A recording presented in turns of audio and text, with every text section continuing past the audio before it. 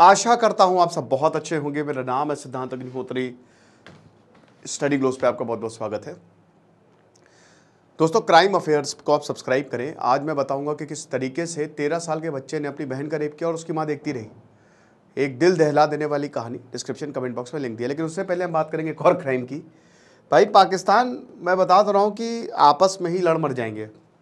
हालात इतनी बुरी हो गई है शिया सुन्नी ट्राइब्स एक दूसरे को मारने पर उतारू है टाइम्स ऑफ़ इंडिया में छपा ही है। और ऐसा क्यों है? शिया सुन्नी पे मैंने कई बार लेक्चर लिए हैं, ठीक है ना? तो आप देखिएगा। तो बेसिकली यहाँ पे पाकिस्तान एक सुन्नी नेशन है, हम सबको पता है कि 90 परसेंट वो जो पॉपुलेशन है दैट इज़ सुन्नी। अब क्या हो रहा है? पूरी दुनिया में शिया जो है, वो कमी है, ठीक है ना? दस परसेंट के करीब है। दस से बीस परसेंट ऐसे ही थोड़ा आंकड़ा आप चेक कर लीजिएगा। लेकिन जो सुन्नी है, जैसे ईरान एक शिया नेशन है और एक तरीके से विवाद मुस्लिम में इस्लाम इस दुनिया का सबसे मोस्ट फॉलोड रिलीजन है। साढ़े आठ सौ करोड़ की पूरी दुनिया की पॉपुलेशन में जो ढाई सौ करोड़ है, वो क्रिश्चियनिटी को फॉलो करते हैं।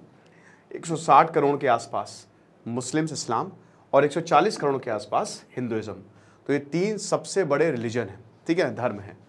तो क्या हुआ है? क्यों इतनी बर्बरता दिखाई जा रही है पाकिस्तान में? हम इसकी बात करेंगे और उससे पहले हम बात करेंगे हमारे शानदार कोर्स की, जो कि टेन थाउज़ेंड एम का कोर्स है।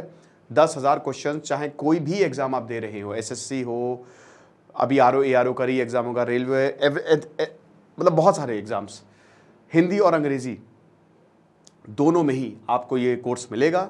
सिर्फ़ नौ सौ निन्यानवे का है, टेन थाउज़ेंड कूपन कोड आप यूज़ करेंगे तो आपको एक्स्ट्रा फाइव हंड्रेड ऑफ़ मिलेगा और शुरुआत के ढाई सौ स्टूडेंट्स के लिए हमने कूपन कोड बनाया है। तो डेथ टोल जो है वो 49 पहुँच गया है। मतलब आप समझिए कि 50 लोग के करीब जो है, एक हफ़्ते के अंदर अंदर मर गए हैं। अब ऐसा क्यों हुआ है? ज़मीन का चक्कर बाबू भैया, ज़मीन का चक्कर। ज़मीन के चक्कर की वजह से पाकिस्तान का जो खैबर पख्तूनवा है, वो ऑलरेडी वोलाटाइल है। हालात बहुत ज़्यादा ख़राब हैं। उसने क्लैशेस भयानक क्लैशेस ऐसे वैसे नहीं, बम फेंके जा रहे हैं मोटार दागे जा रहे हैं ए के फोर्टी सेवन से हमला किया जा रहा है भैया, जिसमें 50 लोग के करीब मारे जा चुके हैं और 200 से ज़्यादा घायल हैं। अब ये खाइबर पख्तूनवा का एरिया है जहाँ पे टीटीपी का दबदबा है, तहरीक तालिबान पाकिस्तान का दबदबा है। बलूचिस्तान और ये जो खाइबर पख्तूनवा है, ये बड़ा डेंजरस मतलब आप ये समझिए कि पाकिस्तान से टूटेंगे, आज नहीं तो कल। सुन्नी मदगा मदागी और शिया माली खेल ट्राइब्स बेसिकली ट्राइब्स हैं। खैबर पख्तूनवा एक ट्राइबर फाटा के अंदर आता था पहले ये, ठीक है ना? लेकिन बाद में इसको खैबर पख्तूनवा सारी ट्राइब्स को मर्ज कर दिया गया। और कुर्रम डिस्ट्रिक्ट जो यहाँ पे है तो वहाँ पे लड़ाई देखने को मिली है। 24 जुलाई से लगातार लड़ाई जो है, वो जारी है। अब यहाँ पे भी सीज फायर है, यहाँ पे भी बॉर्डर है, दोनों ट्राइब्स के बीच में। एक गनमैन ने फायर ओपन किया। काउंसिल जो है, दस साल पुराना, एक बहुत पुराना मसला है। एक फार्म लैंड को लेकर ज़मीन का ऐसा चक्कर होता है कि इंसान मार देता है एक दूसरे को। ज़मीन का चक्कर ऐसा होता है कि भाई भाई का नहीं रहता, बेटा माँ का नहीं रहता। हमने देखा ज़मीन के चक्कर ने बेटे ने माँ को मार दिया जान से। हालात इतने बुरे हैं दोस्तों कि प्रॉपर्टी के लिए लोग एक दूसरे की जान ले रहे हैं और ये तो ट्राइब्स हैं। तो समझ लीजिए कि 10 साल पुराना डिस्प्यूट था ये और उसमें काउंसिल बुलाई गई थी कि इसको कैसे सॉल्व किया जाए। वहाँ पे एक आदमी ने फायर ओपन कर दिया और जैसे ही फायर ओपन किया, वैसे ही शिया सुन्नी का विवाद पूरी दुनिया में चल ही रहा है। और यहाँ तो शिया सुन्नी एक फार्म लैंड को लेकर लड़े हुए हैं। तो चाहे रीजनल हो, चाहे लोकल हो, विवाद तो विवाद है और लड़ गए दोनों। और उसके बाद मौतें हुई भयानक। अब देखिए, क्योंकि सुन्नी डोमिनेटेड पाकिस्तान है तो जो चौंतीस के करीब लोग हैं, वो शिया के हैं। आठ के करीब लोग जो हैं, वो सुन्नी के हैं। ठीक है ना? अब ज़ाहिर सी बात है कि यहाँ पे सुन्नियों को ज़्यादा प्रेफरेंस दी जाएगी। फायरिंग जो है, वो चार दिन तक 28 जुलाई और 29 जुलाई तक लगातार चलती रही। ठीक है ना? जो मकबल और तेरी मंगल एरियाज़ है, अपर कुर्रम कुर्रम में, ठीक है ना? सेंट्रल कुर्रम में और रोअर कुर्रम में, यानी पूरा कुर्रम डिस्ट्रिक्ट एक तरीके से बैटल में तब्दील हो गया। तो पाकिस्तान का जो ह्यूमन राइट्स कमीशन उसने बोला कि बहुत ही गलत है और हमने सरकार सरकार बुलाई है ब्रोक हो, ये हो, फलाना धमाका सब बोला गया है। बिलावल भुट्टो तो क्या ही करे, खैर अब इनके बारे में हम क्या ही बोले? तो वही बोला है कि ये प्रोग्रेसिव सोसाइटी तो घंटा जो फालतू बातें, करवा लो बातें छौंकवा लो। तो वही है कि प्रिंसिपल ऑफ़ इक्वालिटी जस्टिस ये सब तो इनके बयान को तो बस आप ऐसे लीजिए, हँसी में उड़ाइए।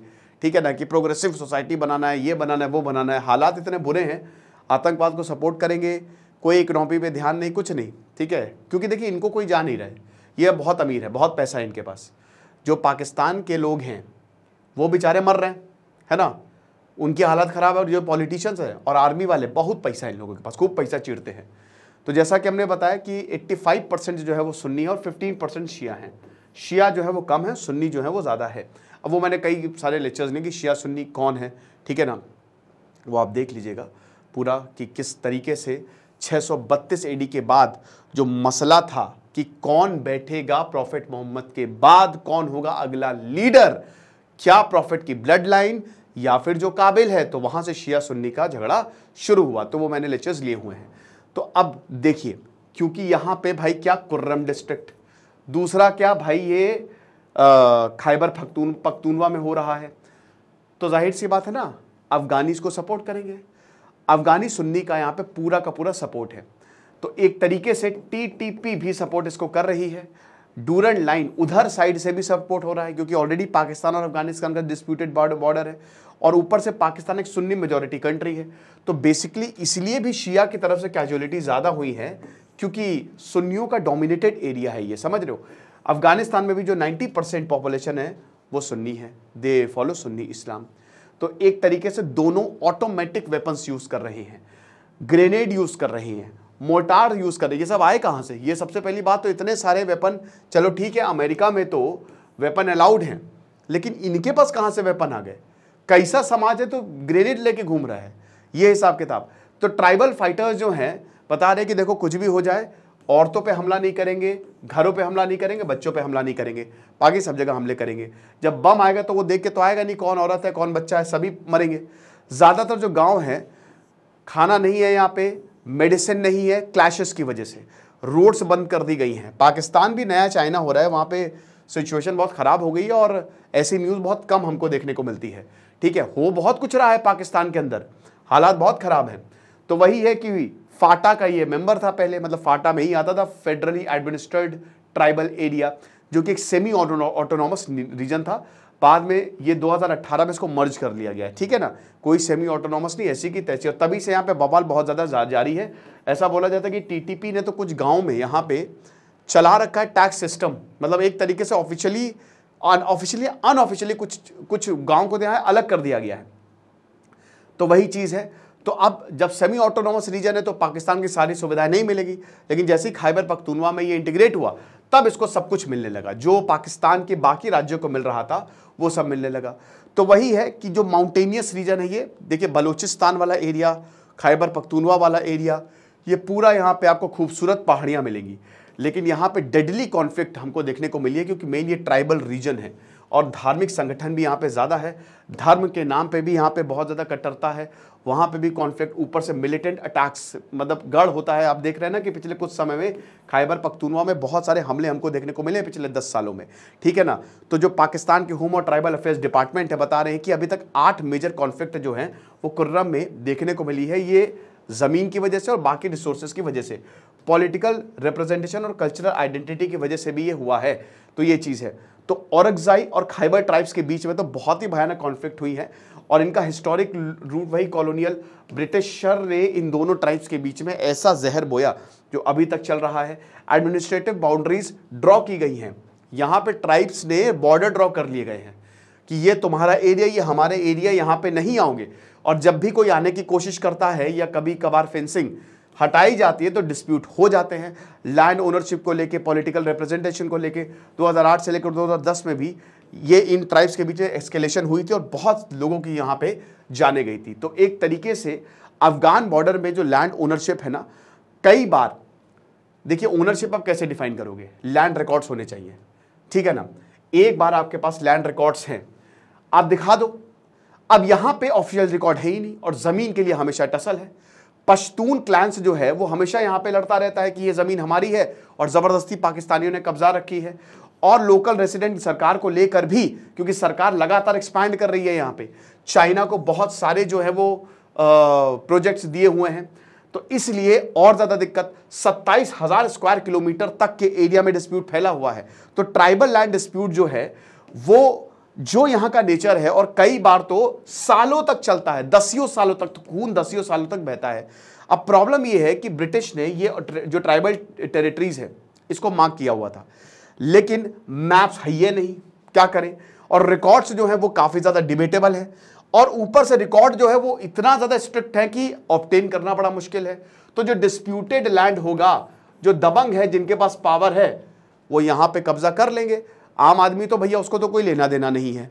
भाई, जैसे कोई पे भी, जैसे डिस्प्यूटेड लैंड जैसे मेरे पिताजी का डिस्प्यूटेड लैंड था, ठीक है?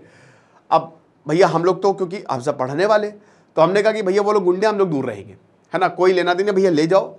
लैंड ले जाओ, जो करना कि हमारे पास हमको अपनी पढ़ाई में फोकस करना है। जो पढ़ा लिखा इंसान, जो समझदार इंसान, वो यही करेगा। लेकिन जो दबंग इंसान है, वो क्या करेगा? वो भिड़ जाएगा। अब यहाँ पे सबके सब दबंग है। सबके पास जो है, वो बंदूकें हैं। सबके पास जो है, वो बम हैं। तो क्या किया जाए? तो जो फैसल करीम कुंडी हैं प्रोविंशियल गवर्नर वो बताते हैं कि जो रियल इशू है, वो सेक्टेरियन वायलेंस नहीं है। सेक्टेरियन कॉन्फ्लिक्ट नहीं है। लेकिन जो यहाँ की सरकार है ना, वो बहुत निकम्मी है। वो इन लैंड डिस्प्यूट को कभी एड्रेस करती ही नहीं है। स्कॉलर खान जेब बता रहे हैं कि सरकार जो है, वो लैंड रिकॉर्ड्स नहीं देती। अगर सरकार लैंड रिकॉर्ड्स दे देगी तो भैया एक्सपैंड कैसे करेगी? है ना? सरकार को भी तो ज़मीन चाहिए। तो सरकार तो सरकार है, वो तो आएगी धन धन धन धनाधन धन चलाएगी, गोलियाँ मरवा देगी। ठीक है? तो एक तरीके से जो रेवेन्यू डिपार्टमेंट सिस्टम है यहाँ का, बेकार है, बकवास है, वाहियात है। और सबसे बड़ी बात, जो लैंड डॉक्यूमेंटेशन है और जो जोग्राफिकल इंफॉर्मेशन सिस्टम जिससे आप लैंड की मैपिंग कर सकते हो, उस पर ध्यान देना चाहिए। बट ऐसा है नहीं। सरकार इन रिकॉर्ड्स को स्ट्रिक्टली अपने पास रखती है और ये बिल्कुल जारी नहीं करती।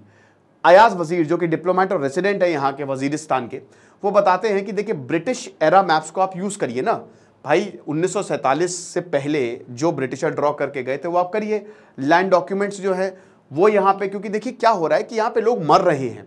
यहाँ पे एक शहर जो है, एक डिस्ट्रिक्ट जो है, वो तबाही का मंजर है वहाँ पे। और ये हर डिस्ट्रिक्ट की बात है यहाँ पे। वहाँ पे होता है लैंड रिकॉर्ड्स की वजह से बहुत प्रॉब्लम होती तो आप इसको जल्द से जल्द छुड़वाइए तो यहाँ पे जो भी जिरगाज है या ट्राइबल काउंसिल हैं तो उनके थ्रू जो है, इसको आप सॉर्ट करवाइए। सबसे बेटर यही रहेगा। लेकिन वही है कि इस समय सिर्फ़ और सिर्फ़ सरकारी ऑफिशियल्स जो हैं, इसको एक्सेस कर सकते हैं। ये दिक्कत है। तो सरकार के एक्शन की बहुत ज़्यादा ज़रूरत है और ट्राइबल एल्डर्स की बहुत ज़्यादा ज़रूरत है ताकि लैंड रिफॉर्म्स आ जाएँ। यही हाल, वरना अगर नहीं हुआ ये तो ये हालात आपको देखने को मिलेंगे। तो ये लेक्चर था। आपको क्या लगता है मुझे कमेंट बॉक्स में ज़रूर बताइएगा। बाकी हमारे कोर्स को आप ज़रूर अवेल करें। दस हज़ार क्वेश्चन सारे के सारे एग्ज़ाम आपके टिप पे। Thank you so much